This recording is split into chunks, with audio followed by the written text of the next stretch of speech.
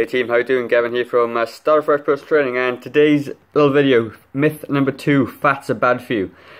Such a massive, um, massive lie in the old uh, health and fitness industry um, and people will always tell you fat is bad for you, okay?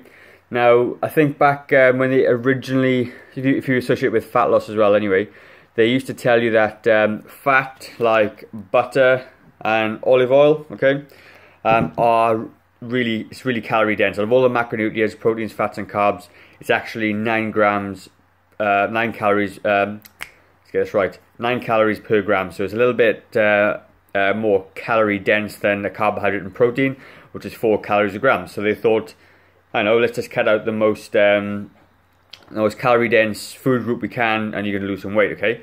The other thing as well is that it's basically people will say association associated with uh, really bad health, and you know cardiovascular health things like that. Um, and we know that this in this day and age that eating cholesterol isn't likely to uh, increase your cholesterol levels. Okay, and eating fat isn't actually what makes you fat. It's too many calories that makes you fat.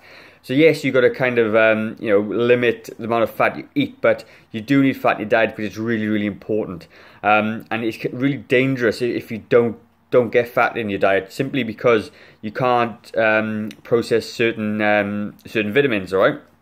Um, and you do need to eat omega 3s and omega 6s, okay? That's really, really important. Um, and as for saturated fat, okay, being the, the main driver of cardiovascular disease, it's just a myth. It, it actually isn't true.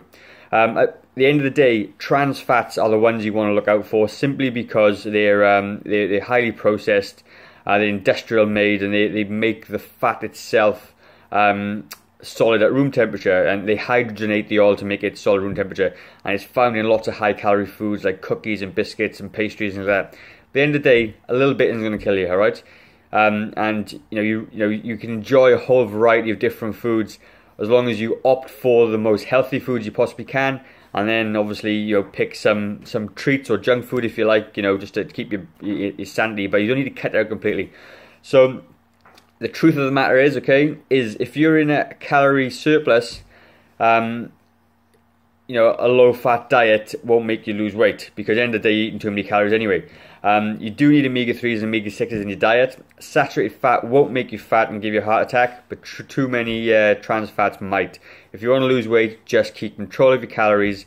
Make sure you don't go over your calorie limit, and you will be absolutely fine. Start fresh, guys. If you don't make a change today, how will tomorrow bring you different? Cheers.